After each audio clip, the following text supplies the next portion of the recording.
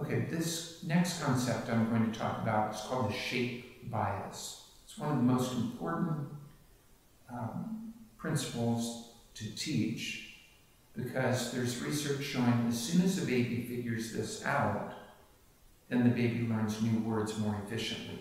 What it means is that the baby pays more attention to the shape of an object instead of paying attention to the color, texture, size, or material of the object. So think about a cup. Look at these cups, and you see uh, they're in different colors, they're, uh, they have different designs, they're made out of different materials, they have different textures. If the baby uh, is focused too much on the color of the cup or some other factor, then it's going to take the baby longer to learn what the word means. As soon as the baby figures out that it's the shape of most objects that gives the category information, then the baby learns new words faster. Now, this can be taught. There's research showing 17 month old babies can be taught the shape bias in four 15 minute sessions. So, in about one hour, the baby can learn the shape bias. How I'm recommending that you teach the shape bias is mostly sort things by their shapes instead of by their colors. So do not start off doing what most parents do, which is sorting all these objects by color. Instead, focus more on the shapes. So put all the plates together, all the cups together, all the spoons together, all of the other kinds of objects together, so that the baby figures out that these similar shaped objects are the ones that go together, not the ones of the same color.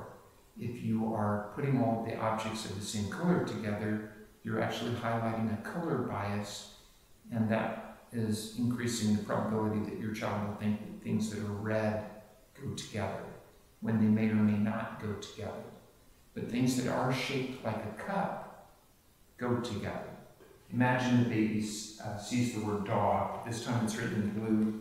The next time the baby sees the word dog, it might be in a different font with a different background color and, and a different color. Each time the baby sees the word dog, it's in a different font and a different color and so on. So then the baby figures out it's not the color because all of these, for the most part, are the same color combinations so the baby figures out, well, it's not because it's blue that means clapping, it's because of the shape of the word clapping.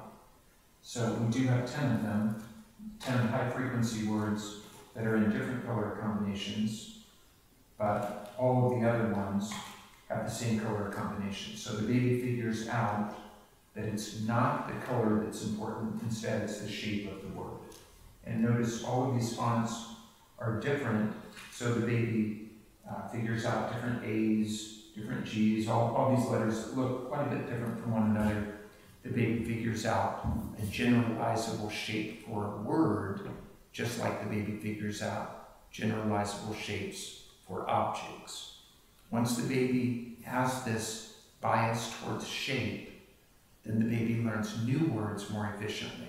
So it's a very important concept to teach, and the earlier you teach that, the better because then the baby has a longer period in that window of opportunity when their brains are developing very rapidly and then when they're having all of these new brain connections related to language learning where they can learn new words more efficiently. When babies are sorting their world by color or size or some other factor that's not as important, then the babies learn the words much more slowly.